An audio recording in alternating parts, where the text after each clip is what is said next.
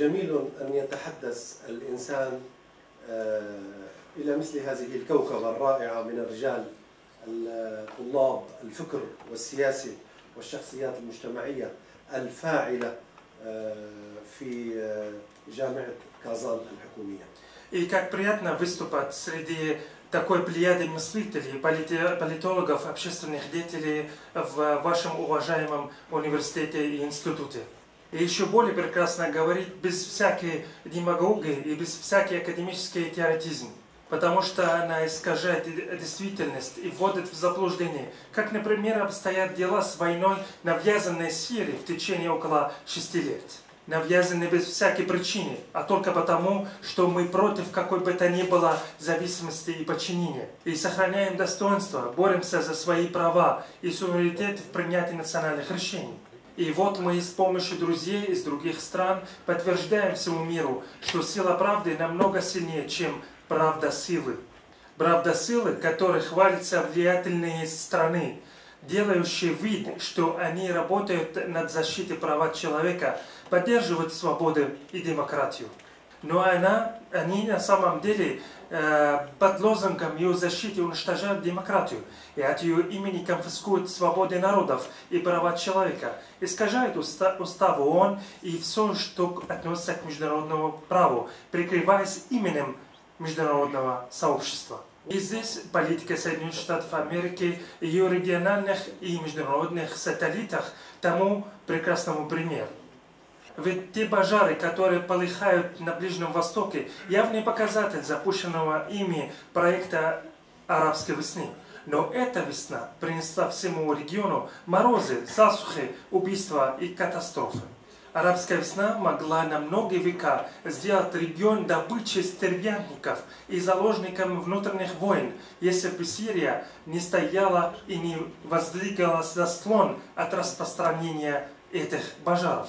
Если не встала бы на пути западного локомотива, который нацелен на расчленение страны и не смещала бы карты страны Запада. Уважаемые господа, хочу обратить ваше внимание на следующее.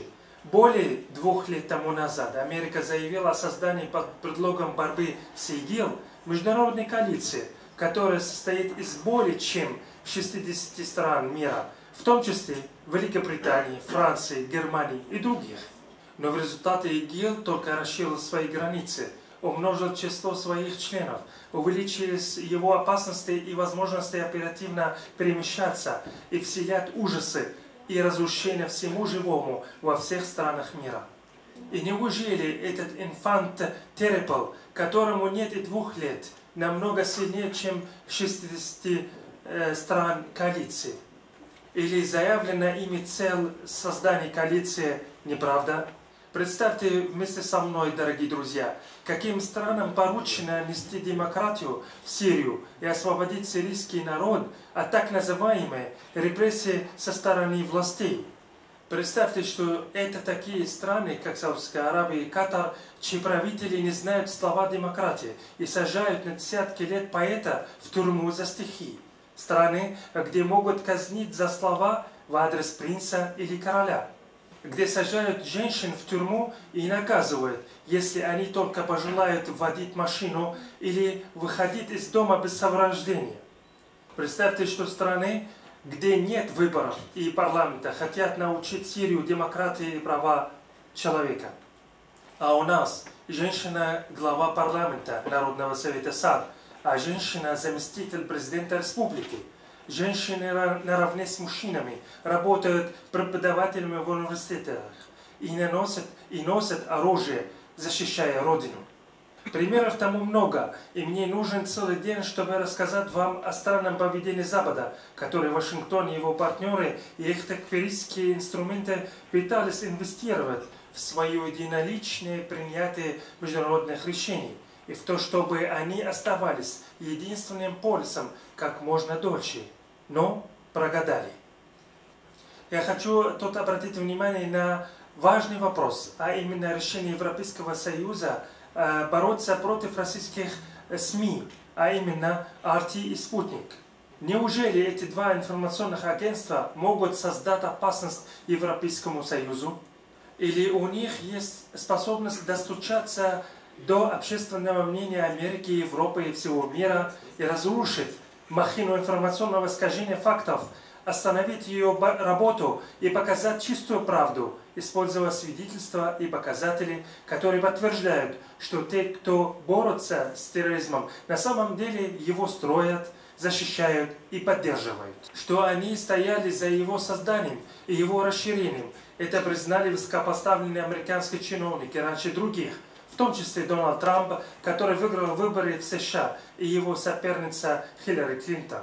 А это значит, что мы сейчас стоим на пороге новой эры, основны, э, основные принципы которой пока не сформированы окончательно. Особенно в том, что касается баланса сил и распределения элементов создания международных решений в теории и на практике. Есть официальная статистика, которая говорит, что около 3200 человек, граждан Российской Федерации, направились в Сирию и Ирак, чтобы влиться в рядах вооруженных террористов. И только представьте, уважаемые господа, что половина из них вернется в страны, откуда они уехали. Какие же пожары начнутся в странах СНГ? И какие только преступления ждут общества этих стран? Это объясняет борьбу России с терроризмом и такфиризмом в Сирии, чтобы ей потом не пришлось бороться на московских улицах и в других городах России ее соседей.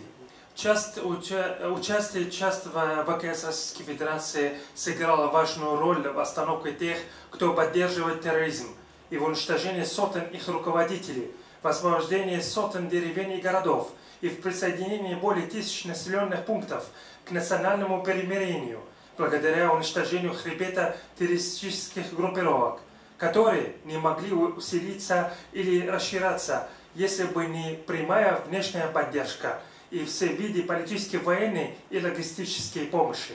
В том числе даже со стороны ООН, представитель которой Демистура попросил наградить террористические группировки в районе Восточного Алеппо и попытка э, наделить их администрацией. И эти группировки не останавливаются ни перед какими самыми ужасными преступлениями против гражданских лиц, невинных людей. Сделали из них живой щит, также они постоянно бомбили школы, университеты, больницы и жилые районы всеми видами оружия. И даже дошло до того, что несколько раз использовали химическое оружие. А международное сообщество сидит и смотрит на это, потому что его воля конфискована американской силой. И удивительно, что администрация Обамы попросила у Москвы и Дамаска не наносить по ним удары, потому что они умеренная оппозиция, как их называет Белый дом. И вот эти умеренные заключили в тюрьму более 80 тысяч людей в районе Восточного Алеппо. А когда сирийская арабская армия и ее союзники начали зачищать районы Восточного Алеппо и освобождать заключенных, то Запад будто сошел с ума. Он хочет наказать Москву и Дамаск за спасение десятков тысяч заложников вооруженных террористических группировок, которые совершают все самые страшные преступления, пользуясь защит, э, защитой и благословением со стороны региональных международных участников конфликта. Я не хочу долго говорить, поэтому я вкратце скажу следующее. Мы прошли период однополярности, но показатели новой мировой системы еще пока не сформированы.